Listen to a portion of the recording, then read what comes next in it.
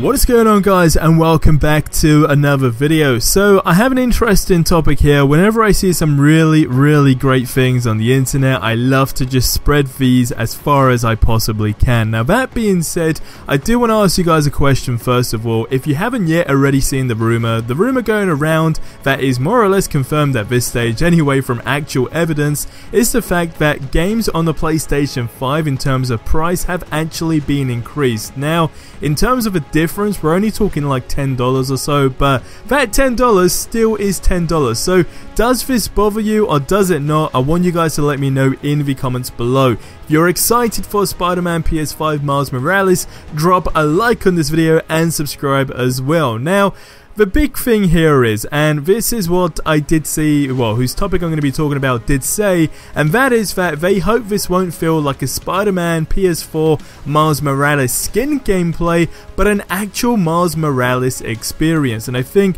that is something important to actually just shed some light on because, you know, it could just potentially be something that could be in, in Spider-Man PS4, but we know that this is some kind of spin-off, so let's just imagine it as Uncharted. Now that being said, there is a fantastic wish list on Reddit, which I'm going to link in the description below as well, but something that I really think is super super cool is what you are seeing on screen right now. Now again, I'm going to leave the original link in the description below, but this post here says, I really hope Spider-Man Miles Morales or Spider-Man 2 PS4 have their, um, I'm guessing he meant PS5 here, actually have their transition from menu to gameplay like they did in this demo on the PlayStation 4. Now, if you guys have ever played Just Cause 3, they did this, and this is exactly what this person says, and it's basically where, essentially, wherever you saved the last game, it picks up a place near there and has some unique idle animations that play until you actually move. Now,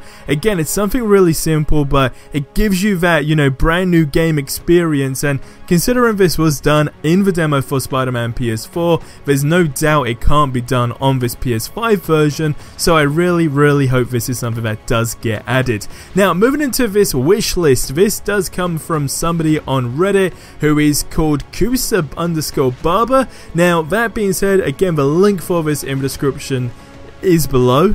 I don't know why that felt like it didn't make sense, but we're just going to continue rolling. Now, I've only picked out about, I think, three or four of the topics that he did mention on here, but there are literally like 16 of them, so I strongly recommend you check these out after. Now, the first one I wanted to point out, which was actually number two, is more swinging animations. For example, Peter always started swinging from the same position. Yeah, he did some tricks, but it felt the same. He always went back to his default position. Now, what this person would love is to have Miles be falling from a building with his back facing the ground and then shooting the webs from that position without even looking at the ground, or maybe add a delay when shooting a web. It can create those last second intense moments when you are about to hit the ground. You can then combine that with maybe a free fall animation that lets you fall back facing the ground and you have the of course ultimate Spider-Man experience. Now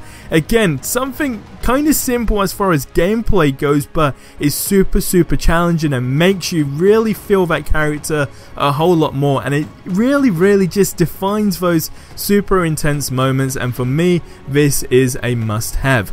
Now the second one again is a must have because it's something we did see in the Spider-Man PS4 demo way back in E3. If you remember, Spider-Man was literally like running through this calf, jumping on tables, and then smashing through the window. Well, we basically want more places that you can enter in the city. So this dude gave an example like a church or a coffee shop, or the top of the church where the bell is, something that makes New York feel like an actual city. I think with the power of the PlayStation 5, that could work very nicely. And maybe doing a more real version of New York City adding some things that were missing in the first game, maybe scaling up the buildings. This person felt like the buildings were a bit small compared to the characters. Now, I don't know what you guys think about that. I mean, there's always room for improvement as far as that goes. Another thing about making it feel more like New York City, again, we know this is set around Christmas time, so it leads to the big question of is it always, well, I mean, in terms of weather conditions,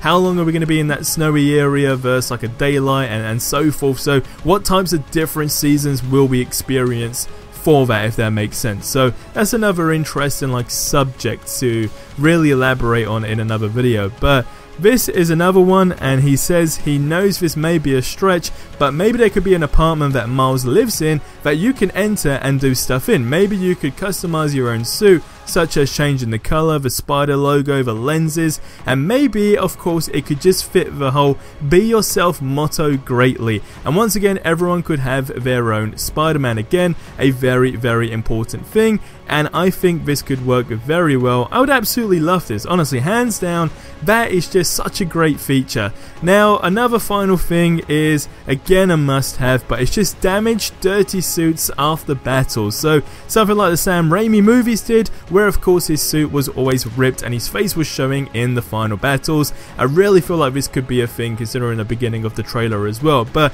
we got to take into consideration to not make this feel like, you know, a Spider-Man Miles Morales skin experience that could have been on the PlayStation 4. It really needs to have some new features that, of course, the PlayStation 4 version did not have. So I want you guys to leave your thoughts on this in the comments below. That's going to wrap up this video here. As always, subscribe for more awesome content. I will see you in the next one. Until then, have yourselves a ridiculously amazing day, and adios amigos.